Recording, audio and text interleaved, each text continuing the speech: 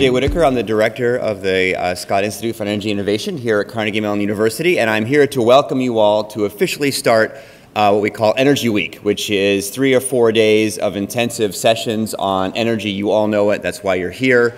Um, before I do anything else, though, I want to deeply thank the staff of the Institute who have been uh, doing literally all of the work, uh, including part of the work is getting me to come up here and stand and say these things. Uh, not about them, but in general to, to welcome you all. So please, I want to specifically thank Anna and Amanda and Ginny and others who are outside for the incredible work to get all this put together. It's a lot of time and effort.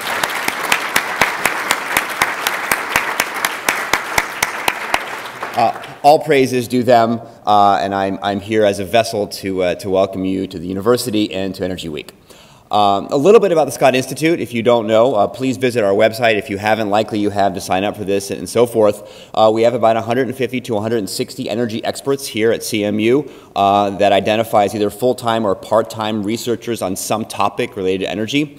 Our job is to pull from these people uh, and to support these people uh, uh, energy things right? So we're trying to connect them, we're trying to uh, synergize research within the university, we're trying to synergize uh, interactions with outside industry, uh, and our goal really at the end of the year, at the end of the decade, is to make sure that we have changed the way um, energy is thought of both at CMU, within the region, and also nationally. We want to have an impact. We want to understand what that impact looks like.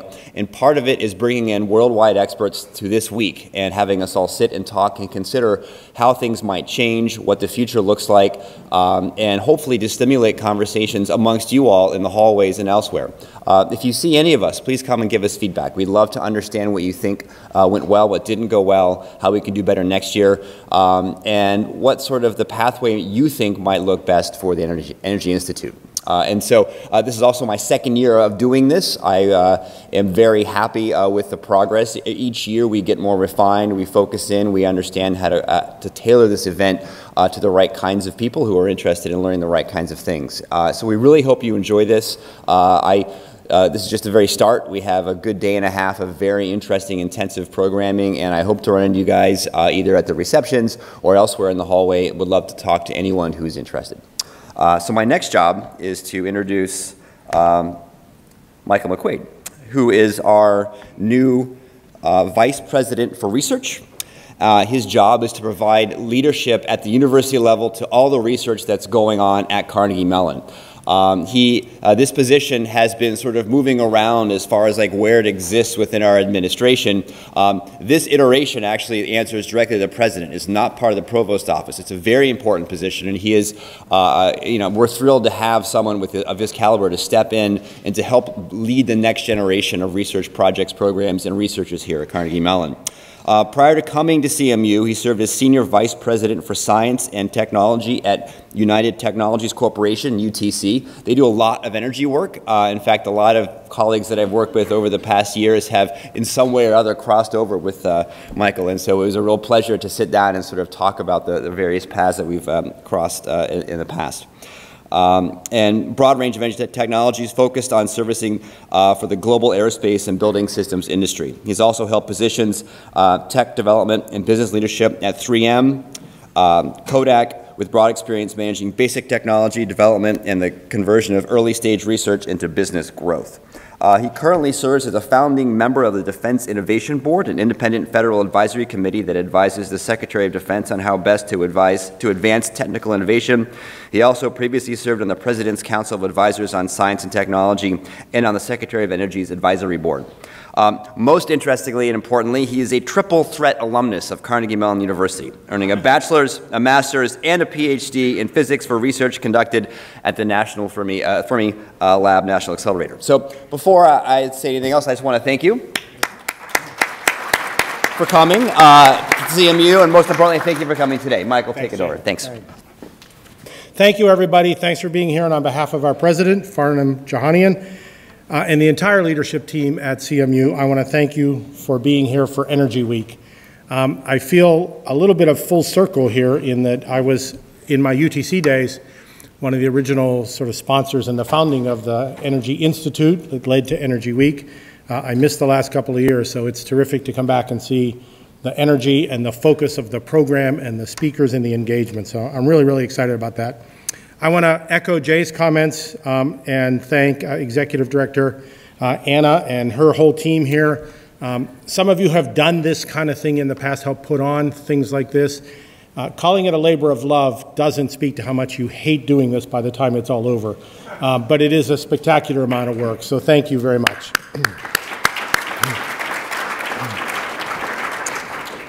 Um, the Scott Institute for, for all of us is a prime example of what we talk about when we say CMU is about doing work that matters. So, so I would be disloyal and remiss and untrue if I did not try and help you understand how important the fundamental research that happens on this campus is to the campus, to the communities in which our researchers work, to the broad community here in Pittsburgh and, and, and beyond that.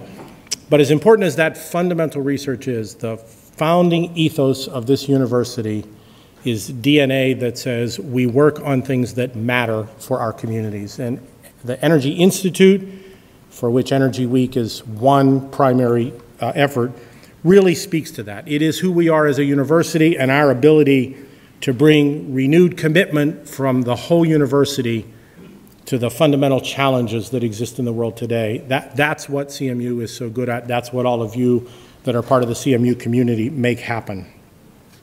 Energy Week is also a very clear proof point of what I alluded to, that, that the most important problems are the ones we go after, whether it is the future of work, whether it is the implications of AI, whether it is building a sustainable earth and a sustainable energy infrastructure and sustainable energy paradigm for all of us.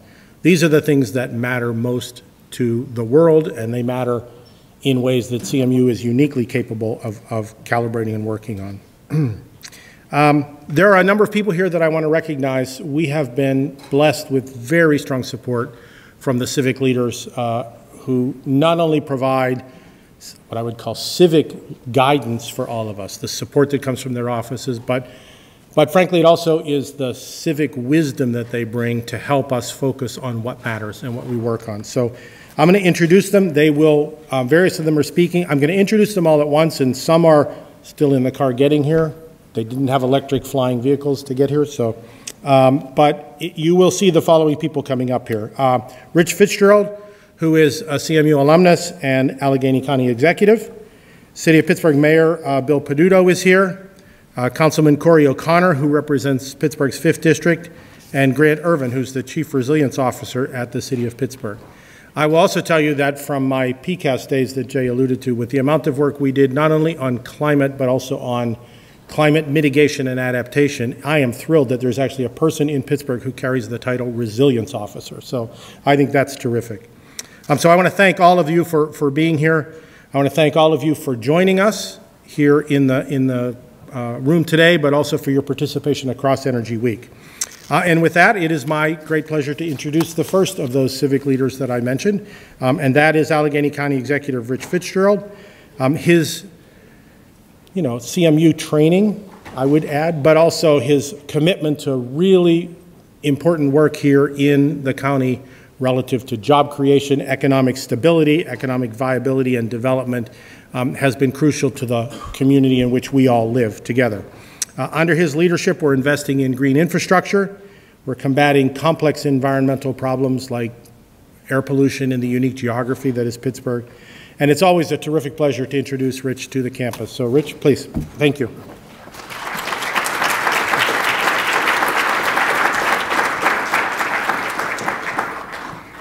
Thank you, Michael. Uh, it is always a pleasure to follow a triple threat when you get to do that, so congratulations. I want to congratulate, too, Anna uh, and Jay and Michael also for putting this on. Um, when they talk about full circle, I, I, I, might win the award of the full circle.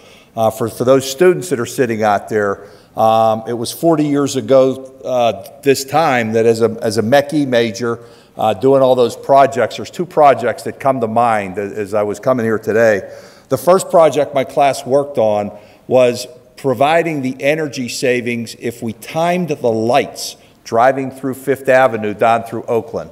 How much energy would be saved if you didn't have to stop at every single light and you, you timed that through. Because back in those days, it wasn't, we didn't talk about climate change. That wasn't on the, uh, the agenda, but it was really about foreign oil that we had to purchase and what that meant to the country uh, at the time, back in the late 70s, early 80s. The second project was when we were reducing the speed limit on our turnpikes and interstates from 65 to 55 and how much energy savings that would be when you did the multiplication. So it brings back memories to hear what you're doing in the innovation as we, as we move forward in today's technology and how important it is not just what CMU is able to do, but those of us in public policy as we run our organizations, the buildings and the, and the, and the vehicles and all the things that we're doing and how that matters.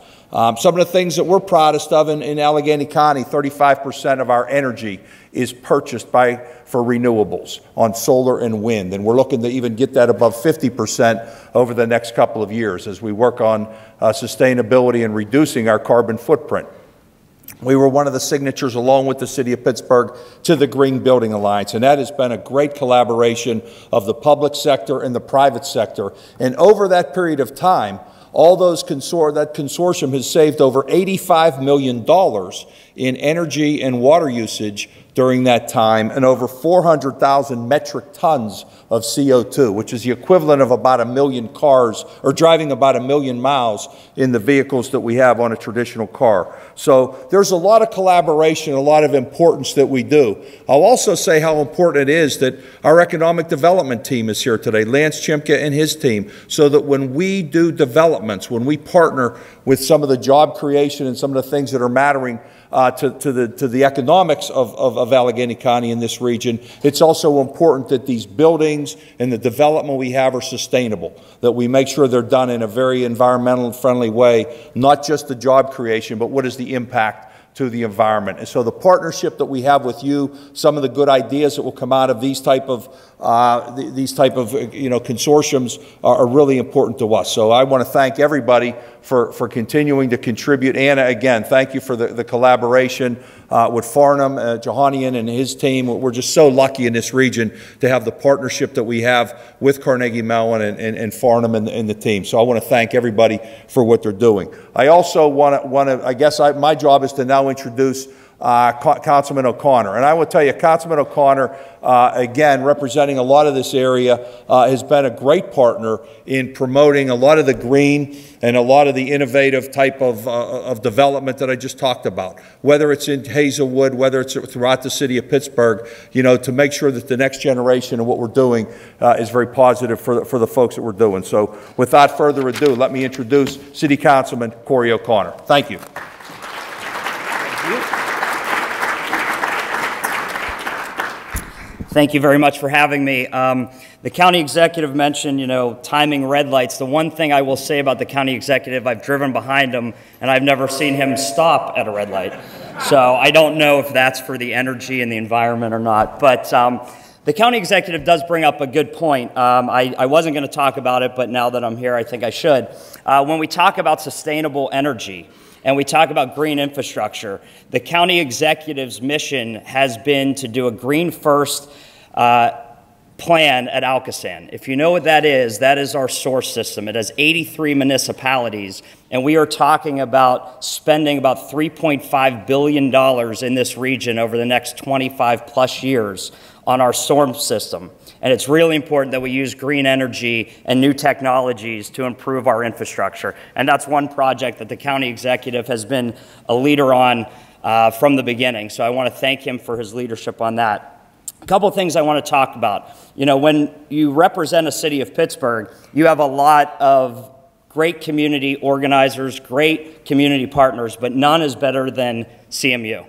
CMU over the years has been the leader in solar energy, in renewable energy, and each and every year they produce, their students and their faculty produce about 25 new energy related companies. Now, why is that important? Because when we're talking about growth and we're talking about jobs in the region, CMU is our leader. One thing I want to discuss, and I don't know if many of you know this site, but Hazelwood Green is about five minutes from here. And we've been looking for an anchor tenant for the last 15 plus years. A couple years ago, CMU and their advanced robotics manufacturing Institute got a $250 million grant from the federal government. They could have chose any site in the city of Pittsburgh, and they chose Hazelwood Green. One, because the site standards are to allow zero energy off-site.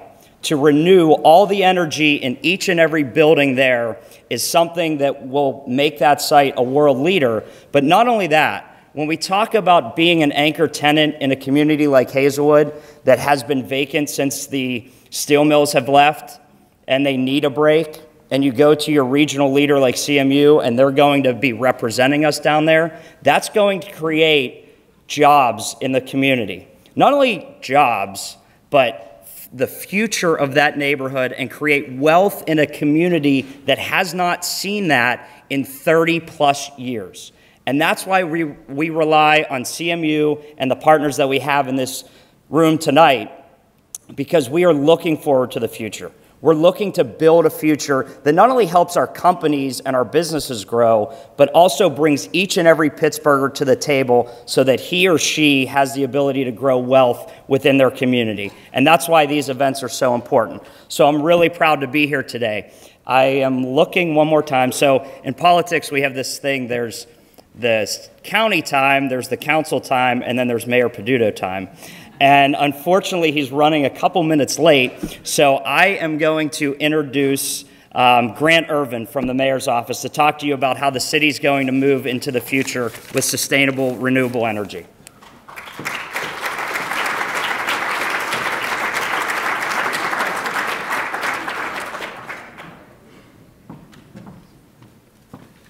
Thank you, Councilman. Much appreciated. And uh, after being on the mayor's staff, I've also learned to walk very slowly to the podium just in case he arrives. Um, uh, but if he, if he does arrive in the next 30 seconds, um, doesn't seem like it, so I'll, I'll take it from here. Uh, so, so thanks a lot. Uh, Anna and Amanda had asked me to share uh, a few slides uh, with you about the work that we're doing in the energy space uh, in the city of Pittsburgh. Um, so I wanted to uh, put together a couple of, of items for you just to share some insights, uh, some local insights. We've seen some, some global, some national trends, um, and give you a sense of kind of the picture here on the ground. Um, that we've been working on and working on in very close collaboration uh, with our partners here at Carnegie Mellon. Um, you know, one of the things that is, uh, Corey alluded to is having a, a, research university like CMU and the University of Pittsburgh in your backyard um, really allows you to be the test bed for not just next gen technologies, but also uh, the ability to ta tackle kind of next gen problems uh, with kind of new processes. And one of the big things that we have started to do within the city of Pittsburgh has taken our sustainability program and morphed it with uh, this concept of resiliency. Um, and you know, when we first started to do that, there was a lot of pushback uh, from from members in the, particularly in the environmental community, just to be forthright about it, because the, the conventional wisdom was that resilience was about giving up. And that's exactly the opposite point of view. Um, in fact, one of the things that you come to learn within the resilience practice is it is essential to mold that with a sustainability practice. The idea that you can bring the concepts of endurance and sustainability uh, with the concepts of addressing your shocks and stresses and the need to not just bounce back but to bounce forward, which are some of the concepts of resilience or things that we're molding together in our programming and our policies. And one of the places that that takes shape is in infrastructure. Um, and not just thinking about infrastructure as static, aging, old pipes and lines and wires, but really dynamic tools that can help us build a more sustainable and resilient and just future. So, what I wanted to do with you is, is kind of talk a little bit about our journey over the last four years um, and to show you kind of the point and direction that we're in right now. So we've been a partner uh, with 99 other cities around the world uh, in a network called the 100 Resilient Cities Network, uh, which is a program that was pioneered by the Rockefeller Foundation. And in 2015, we began this deep uh, outreach process with community members, uh, both residents as well as subject matter experts, folks here at the university and industry, to understand what the shocks and stressors are that face the Pittsburgh community. Shocks being those potential immediate negative impacts, think a hurricane or an earthquake, uh, and stresses being those slow moving challenges that a community faces, like aging infrastructure and economic and racial inequality. Things that are kind of embedded in your day to day challenges that you recognize but you endure and you kind of deal with versus kind of an immediate negative externality like a shock. And with that information, we've been able to develop a series of strategies that have become our 1PGH platform uh, within the city of Pittsburgh. 1PGH is really based upon the ideas of a, a, framework that we call P4, or People, Planet, Place, and Performance, that allow us to start to look at ways in which we mold together uh, both those societal impacts as well as challenges like climate change. And out of that have come two other strategies that are now guiding our policies and investment decisions. The first is the Pittsburgh Climate Action Plan, which I'll talk about in a moment. The second is the equality indicators. As you note from the previous slide, one of the major challenges that we suffer from in the Pittsburgh region is structural inequalities. And we were told this time and time again by folks around the community, but we really didn't have a deep idea in terms of what that meant. The Equality Indicator is a program that we've pioneered with the RAND Corporation and the City University of New York, has given us that first fundamental knowledge of understanding where inequalities exist and how we can start to shape the challenge to address them. We are now in a process of taking that information and pivoting towards the creation of the 1PGH Fund a social impact fund that would help address these inequality situations across our community and allow the community residents to address one of our other fundamental challenges, which is fragmentation, the inability to work across sectors around common challenges. If you look at this slide, and you probably can't see it from too far in the back, but one of the big things that we were able to identify within the equality indicators is this idea of where those challenges exist. And one of the things that I would point to this conference in terms of some of the relevancy is a lot of these inequality challenges have energy issues behind them. One of the main thrusts that we've come across is this concept of energy burden, or the concept known uh, basically as the per capita cost that a household spends on utilities. And we learned in our research that Pittsburgh is number one in the nation, and that's not a good thing. And that's not a function of the cost of utilities, it's the function of having an aging, underinvested in housing stock. So, just like much of our aging infrastructure, our housing stock suffers from some of those same crippling impacts of the lack of investment. That has upstream impacts on health, on job, and workforce development. So, understanding how we can address some of these challenges is one of the, the energy issues of our time. We also developed the third Pittsburgh Climate Action Plan. Um, what I have before you here is the goals that we have developed within PCAP 3.0, which were uh, in large part shaped by members of the community and a, a, large team here, at, frankly, at Carnegie Mellon, who helped us develop our next generation greenhouse gas emissions inventory. Um, so understanding that baseline that is required to reduce our emissions and our contribution to global warming. Our goals, simply put, are 100, 150, and 0. 100% renewable electricity, a 100% fossil fuel free fleet, 50% emissions reduction, and zero waste. And we've also, uh, by the guidance of City Council and adoption of City Council, have adopted these goals in addition to the divestment of our pension resources from fossil fuels, all by the year 2030. These bold steps that we have laid on the table and have been formulated by members of our community have allowed us to become leaders nationally and globally in the conversation around climate change. This past year, we were acknowledged by the Bloomberg Philanthropies as one of the 25 recipients of the American Cities Climate Challenge. And I have a couple of my colleagues in the back from the city of Charlotte and Philadelphia uh, who are also members of that. So um, we're really proud to join this esteemed cohort of, of cities who are looking to reduce carbon emissions by 60 million metric tons over the next two years. Again, bold and ambitious, but as some of our previous speakers have laid out, doable. It requires a concerted effort. It requires us to reformulate how we procure and buy things. It requires changes to policies and practices, and it cannot be done alone. It's not just the city who is being faced with this challenge. It is all of us in this room. So in terms of this, though, it's not just about thinking about electricity all the time, or natural gas, or water. One of the other fundamental shifts that we've done over the past year has been to incorporate our sustainability and resilience team into our Department of City Planning. And what that has enabled us to do is to think about planning in a very integrated way. Every day, the Department of City Planning makes decisions based upon the built and natural environment across our city. So incorporating sustainability and resilience into that practice has enabled us to start to think about policies and investment decisions in a different way. We've done that in two ways.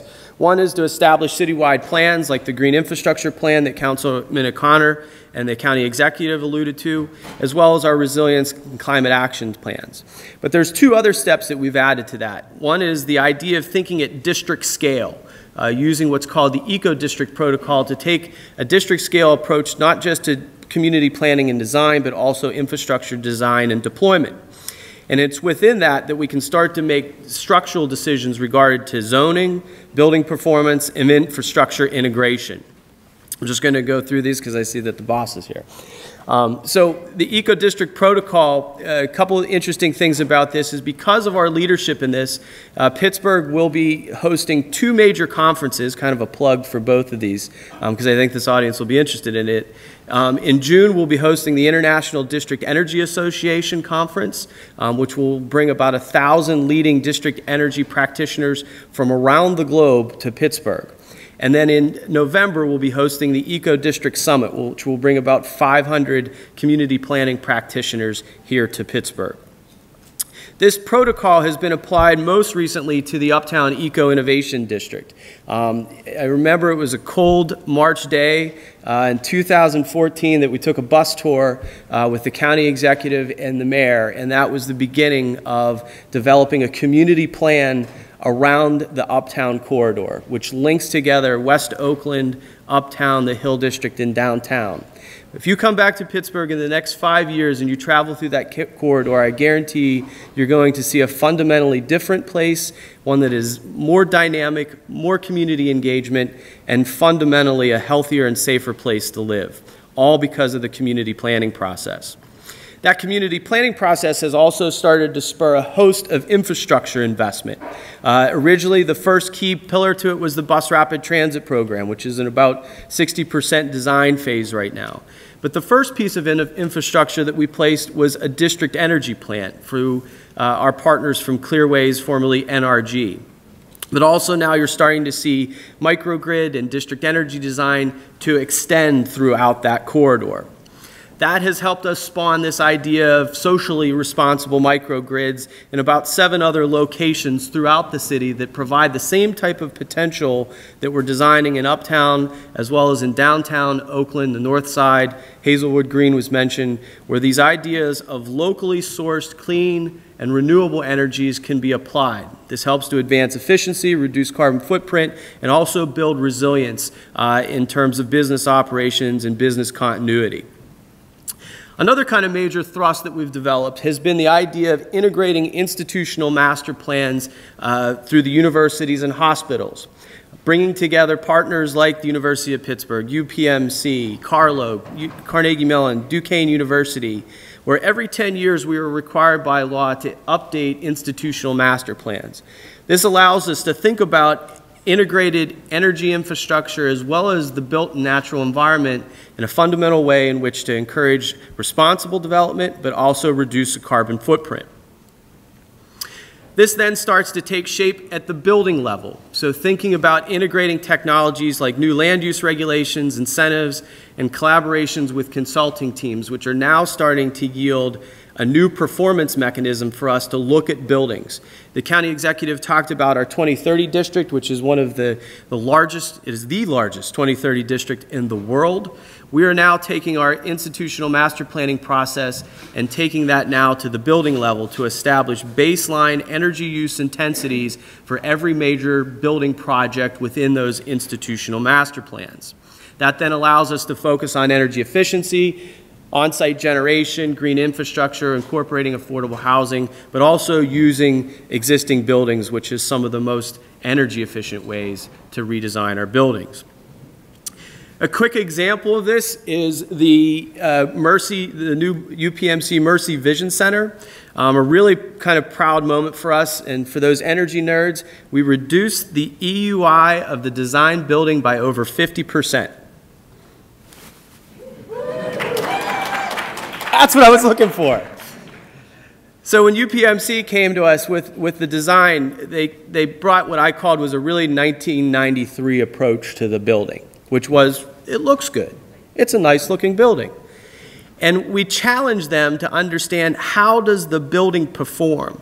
And through an, uh, a three to four meeting iterative process, we were able to reconfigure systems, look at insulation, glazing, energy systems, on site, off site, to formulate a higher performing building right within our Uptown Eco Innovation District. A final aspect of this is about vehicle electrification. One of the key opportunities that we have in front of us here in Pittsburgh is to fundamentally change how we move around. One of the large focus and thrust that we have had has been to encourage greater opportunities around walking and biking, which is our best opportunity to reduce carbon emissions, but also thinking about motorized transit in a way that allows us to change and address this new paradigm of vehicle electrification. So we have huge opportunities in front of us in terms of electrifying the, the Port Authority's fleet and electrifying both university as well as public fleets like at the City of Pittsburgh. By the end of the year, we'll have uh, 20 EVs in our fleet, um, five CNG refuse packers, which will then be able to convert over to RNG or renewable natural gas, um, and also the idea of shrinking fleet and thinking about how we adjust our mobility patterns have been key to that. So these are all kind of things that we were, we were testing, you know, two or three years ago and now are actively deploying. And with that leads me to kind of my final point, which is we cannot do this alone. That the need for cross-sector collaboration is paramount in addressing the challenges of climate change and building a sustainable, just, and resilient future. Uh, and we can't do that without partners like Carnegie Mellon, Allegheny County, our utility and energy partners, and all of you in the room. So with that, I thank you very much. And Anna, I'm not going to introduce you. I'm going to introduce, I'm going to introduce my boss, Mayor Peduto um, to the stage. And uh, as he comes up, uh, uh, most of you know Mayor Peduto, so I won't go into all the details. But without his leadership, we wouldn't be able to be uh, as advanced in the work that we're doing. And for that, I'm thankful. And it's good to see you back from vacation. Thanks, sir. buddy. All right. Yeah. Thank you. So don't leave. So about what four years ago? No, uh, about six years ago, five years ago, we sat down for a cup of coffee. Grant was uh, said he wanted to run for city council. And I said to him, Why? You have one child, you have another one on the way. Why would you want to be in church basements at 9 p.m. being yelled at by two different sides about trying to get something accomplished? I need you to be our uh, sustainability guy. And he thought about it and decided, yeah, I'll do that. And through his leadership, uh, not only is he now the Chief Resiliency Officer and that we have an, an Assistant Director of Planning and where sustainability and resiliency is now a key component of all the decisions that we make. But he's also been able to be around this nation and around this world recognized as one of the top CROs anywhere in any city. And one of the partnerships that we created was with the Rockefeller Foundation and the 100 Resilient Cities. And we were together last year in Bellagio on Lake Como, where the Rockefeller Center's uh, campus is. And I looked at Grant as we looked across that lake, and I said, Do you still regret not being a city councilman? and he just laughed. So thank you for your leadership on this. Um, it needs to be recognized. Thank you. Thank you. So, uh, two things. First off, I'm on a vacation high. I just uh, left Pittsburgh for two weeks for the first time since 2011 and got back a couple days ago. And uh, on my journey, I was uh, in Dharamsala, India, where I got to meet with His Holiness uh, the Dalai Lama. And when I met him, uh, and we were going at the residence into a room for a 45 minute discussion, he looked at me and he grabbed my hair and he said, This is black. And he grabbed my beard and he said, This is white. and, uh, you know, I didn't know what to say. I just kind of looked at him and I was going to say, That's the way God made me, but I didn't want to start this conversation about Buddhism and the belief of God. So I just let it go at that and uh, had this wonderful conversation. But while I was over in Asia, and I had the uh, opportunity not only to be in India, but Cambodia, Vietnam, Thailand, and Japan, the conversations that I had when I had the opportunity to talk with local elected officials were the same conversations that we have at a conference like this. No matter where it is in the world that you live, cities are leading in the discussions on how we can address climate change, how we can reduce our carbon footprint, and what the new technologies and industries are going to be and where they're going to be created. And in Pittsburgh, we have a competitive advantage against cities that are much larger than us, in that we're small enough that when we create these public private or public public partnerships, we can actually implement them. But we're big enough that the world will take notice. So we have this vision of where we want to go by 2030. We want to be able to create a network of independently operated energy providing sources in a district level to provide the opportunity to transfer through a just transformation into renewable energy that would power this entire city. By 2030, we want to purchase all of our operational energy through renewable sources. We want to be able to increase our fleet and our building management systems to be able to reduce the amount of energy that we're using from today to the 2030 by 50%. And we want to get to 100% uh, basically zero waste, where our, our use of garbage and the, the materials that uh, we have today are not going into the land, but are actually being used to produce energy or other types of sources. So these are all the goals. And as we go through this process over these next 11 years, it's not going to be city government that is doing it. It is going to be the partnerships and who is enabled to be able to help us to reach those goals that will be the critical players. So, what does that mean? That means that campuses like this at Carnegie Mellon University and the University of Pittsburgh and the Swanson Engineering Center are going to be our critical partners in being able to make that action occur. It means that companies, companies like Peoples Gas, that have traditionally been a fossil fuel industry, will be given the opportunity to create new renewable sources of energy and to be able to pilot it here so that they can expand their portfolio and then expand it across this country and across this globe.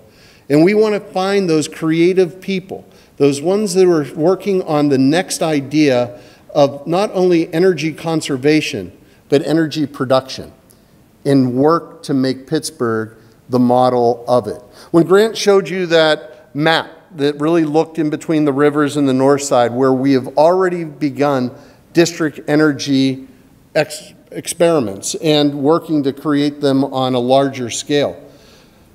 At some point, that map should be the entire city of Pittsburgh. We shouldn't think about the way energy is produced today in thinking of a factory 50 miles away that's burning coal and transmitting it across a line where it's losing all of its efficiency. And then by the time that you turn your toaster on in the morning, about 38% of the energy that was produced is actually being utilized.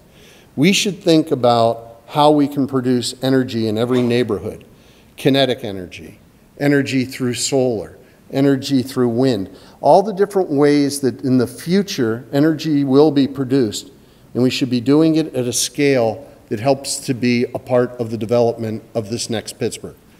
That's why it's absolutely critical that Grant is in that position in the planning department. Because as we look to rebuild neighborhoods, the component of energy is as critical as the zoning decisions that are made on the height of a building or how many people are living inside of it. And we need to make it based on a community level. So forget about the conversations in Washington. It's, it's one thing for Washington to say, this is where resources will be going to, and that is really helpful. But despite who's in the White House, the true changes that we're looking for are going to happen at the local level. And they're going to happen in cities around the world. And they're not going to be based on a top down design of city governments and county governments leading the effort, but instead on how cities and counties can enable those with the ideas to move ahead. And those cities that get that will be on the leading edge of a new energy industry. And those will be the cities that will see the jobs and economic growth occur because of it. Now, Pittsburgh has always been a leader in energy. Coal was discovered on the Monongahela River in Pittsburgh.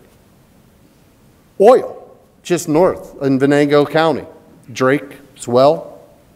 Natural gas, we sit on one of the largest Marcellus and Utica, Utica shale.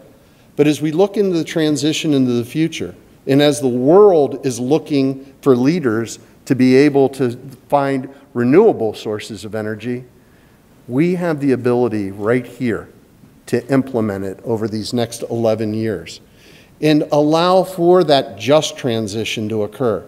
Not like turning on a light switch, but understanding from a city that watched as we went through an economic depression and a recession because we never prepared for a collapse of the steel industry. How we can make sure that those who work in the mining industry in Fayette County and in the natural gas industry in Washington and Greene can be a part of that transition in helping us to get there. And as we take care of the planet, we also take care of people. That's what makes Pittsburgh unique. That's what separates us from ideas that are being presented today that are either going to the far left or the far right. We're practical and pragmatic, but we're also innovators and leaders. And we have this opportunity right now, right now, to lead in a new energy innovation economy. So, to those that are here and for the next few days, come up with the next great idea. Come up with those next great small ideas. Let Grant know about them. Let the county executive know about them. And what I can tell you is we will enable, empower, and get to work rolling our sleeves up like Pittsburghers do to see it happen. Thank you. Welcome to Pittsburgh to those visiting, and we welcome your ideas.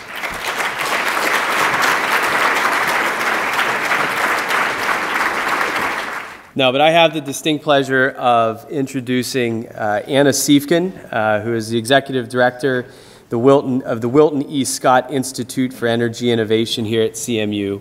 Uh, Anna is a, is a dear friend and colleague, and uh, you know, we, we jokingly call her the GSD. Folks know what that is? It's get stuff done, but we use another word. Um, she's one of our key points of contact here at Carnegie Mellon, and uh, we really relish her, her partnership and collaboration at the City of Pittsburgh. Um, it's interesting. So we started working with Anna back uh, when she was the executive director of the uh, 2030 district at the Green Building Alliance. Um, so thankfully, she didn't go too far when she uh, transitioned. Um, she just went up the street here to Oakland and to Carnegie Mellon, and we're thrilled to have her here in this role uh, at CMU. And uh, you know, can't say enough good things about her. I'll keep it brief. Um, but um, we really relish the partnership with you, Anna, and thank you for pulling us all together because I know great things are going to happen um, coming out of the next couple days here. So please welcome Anna Siefken, everyone.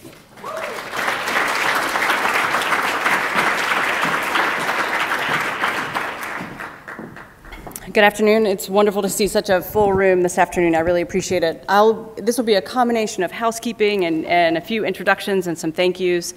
Um, I do want to make sure that those of you that are standing in the back, we have chairs up front. In fact, plenty of chairs. And I know that the folks in the back never want to sit in the front, but there are chairs available, so please do fill in.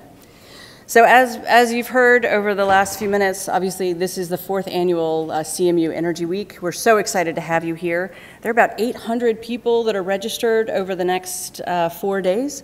Uh, this room doesn't hold 800 people, so we are very excited. And some occasionally you might have to stand, but we are going to bring in as many people as we can to be in this conversation because it's so important.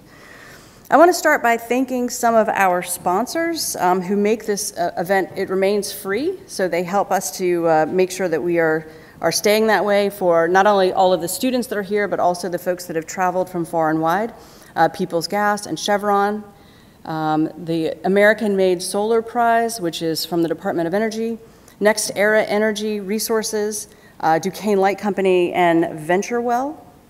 Um, as well, I'd like to thank, uh, we're going to get to the point where there, we have so many that I'm not going to be able to name all of them, but obviously we have quite a few additional partners that have made this all possible. So thank you to all of those partners.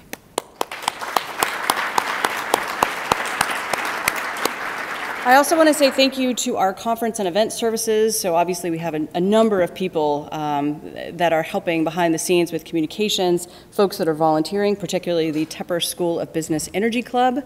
And at conference and events, event services, we have Monica, Reagan, and Chelsea, who you will see running around over the next couple of days. And I would be absolutely remiss if I did not thank this particular energy goddess, um, Amanda King, um, who I believe is probably running around right now trying to help uh, get some things organized. But Amanda, oh, there she is. nice entrance. So Amanda has been integral in, in making sure that this uh, whole event moves very smoothly, so thank you to Amanda. I also want to thank Jenny Delaney and Aishwarya Raja. Aishwarya just finished um, and probably has done the first uh, of her several breathing out uh, exercises. She finished a hackathon um, this morning. We had about 90 students who were on campus for our first ever hackathon. Um, and they created, uh, or they solved, solved, worked diligently for 24 hours on five challenges. And we will be announcing those winners at around 2 o'clock. So they are standing by for that. Also, thank you to our interns, Cody and Jessica. So I know that Jay talked about this at a high level a few minutes ago, but I wanted to give you a few more details about the Scott Institute. We've been around since 2012. Uh, we work on helping to solve the biggest uh, energy challenges in the world. So our 150, 160 faculty members are actively engaged in that every day, and we do that through um, our partnerships, through sponsored research, um, and through creating um, additional opportunities where we can showcase our talent. So I know that we have a number of faculty in the room. I'd like to make sure that you all, if, if you're a faculty member and you're teaching at Carnegie Mellon, could you please raise your hand? We have quite a few. All right, so I want to make sure that you all get a chance to connect one with each other through the course of the time. Um, and what we do specifically, we do support those faculty. We support entrepreneurs and startups. We have an active ecosystem for startups in the local area. We form partnerships, including centers that are looking at different areas of uh, importance, uh, particularly uh, machine learning and AI in the energy space. Um, we have public sector partnerships with NETL and DOE, and we host strategic initiatives and events like this. So if our job is to make sure that people understand exactly what we're doing at Carnegie Mellon, we see Energy Week as just one of many vehicles to convey that to all of you. So our areas of expertise, we've been fine-tuning these over the last um, year or so because we have so many faculty, we wanted to understand exactly what they work on. So it turns, on, it, it turns out it's energy technologies for the future. So that's renewables and transportation, electri transportation electrification, energy storage, and batteries. I know we talked, Jay mentioned the importance of batteries. We're also focused on decarbonization um, and some incredible work that's happening here in those areas. We're also looking at resource efficiency, policy, and analysis. So that would be sort of the, the monitoring, the sensing, the energy policy, the things that enable um, energy transformation to happen. And then finally, when you think of Carnegie Mellon, you think of robots and machine learning and next gen technologies. Well, we have that for energy too. So between grid modernization and energy planning through high performance computing, data centers, machine learning, and AI, all important focus areas for Carnegie Mellon. A lot of this is recapped in a report that you can find online. It's called Impact. Uh, we actually took our first several years and sort of consolidated all of the information about the Scott Institute. So we have this available online. It's the best way to actually access the information, but you can read all about the work that we're doing. Part of it is we highlight our faculty. And so we do have quite a few faculty that are doing some incredible things. Uh, Tony Rollett um, has led a team with Argonne National Labs to unlock a keyhole phenomenon in metal 3D printing, for example. And Constantine Samaras um, is not only um, partnering closely with the Department of Energy, but he's also was named the American Society of Civil Engineers Pittsburgh Section Professor of the Year. So we have folks that are out and about. They are interested in meeting with you and talking with you, so I want to make sure that you make yourselves available and, and find each other. So, in terms of the next couple of days, uh, at 1 o'clock, we will have Tom Siebel, who is the chairman and CEO of C3AI. He will be speaking with us in just a few short minutes. Coming up, um, we will have a student research poster showcase that's happening during your afternoon break. So make sure you take a look at that. There is a People's Choice Award. So we want to make sure that you see the posters. They will be in Rangos 3, which is the other side of that wall, which is where you will always find food. Um, Brian Anderson, who is the newly named director for NETL, the National Energy Technology Laboratory, um, is going to be talking this afternoon at 5:15.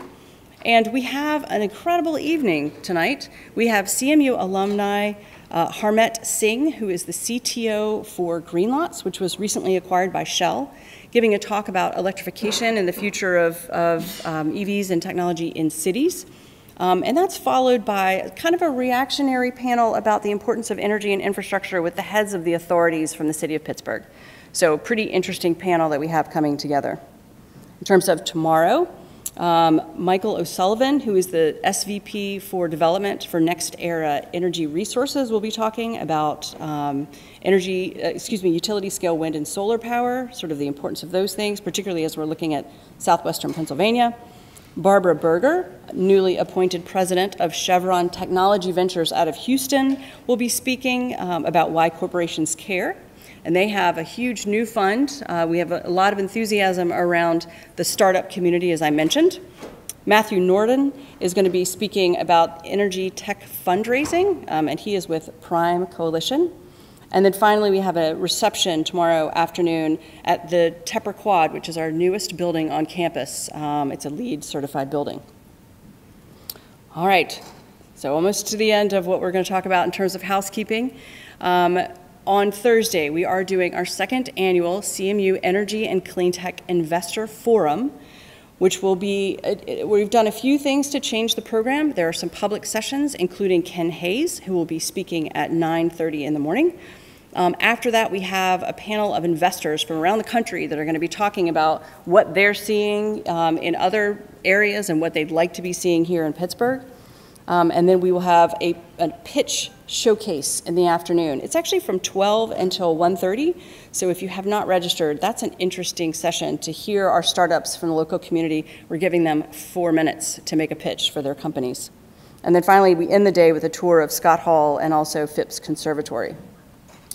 So if you are using social media, uh, these are the hashtags and handles. Obviously, we want to make sure that if you snap a picture that you're sending it out and we will retweet it.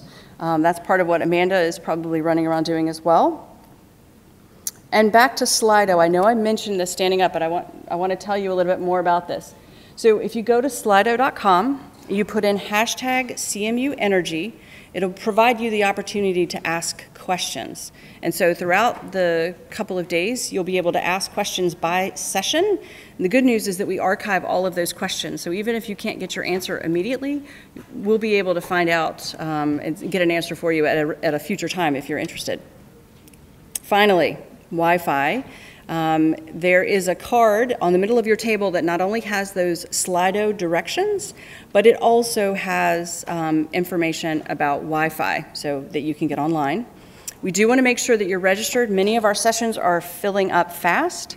Um, I recommend uh, if you have a chair that you love and you're about to go get a meal, leave a coat in that chair or it will be gone when you get back. um, do make sure that you sil- silence your cell phones, tablets, et cetera, so that we can make sure to enjoy all of our guests. And if you are visiting us uh, from out of town, I want to make sure that you take a look at CMU's campus and that you spend some time in Pittsburgh. So I took a small group of folks yesterday up to Mount Washington, um, which is, as was mentioned, used to be Coal Mountain. And so having that perspective and seeing our city in this time of transition is a really, really important part of your visit to Pittsburgh. Pittsburgh. So we're very glad to have you here, so many of you, and we are really looking forward to a fantastic couple of days.